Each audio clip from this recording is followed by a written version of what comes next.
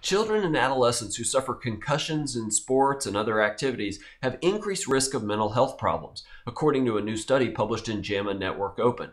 Canadian researchers collected 10 years of data from children aged 5 to 18 who sought medical care during that period for either concussions or orthopedic injuries. The researchers found concussions correlated more strongly to mental health issues than did orthopedic injuries. While we tend to focus on physical symptoms of concussions like headaches, dizziness, sensitivity to light, nausea, and more, this study shows we need to look for more emotional symptoms in these kids and seek treatment with a specialist to help them recover. I'm Dr. David Geier.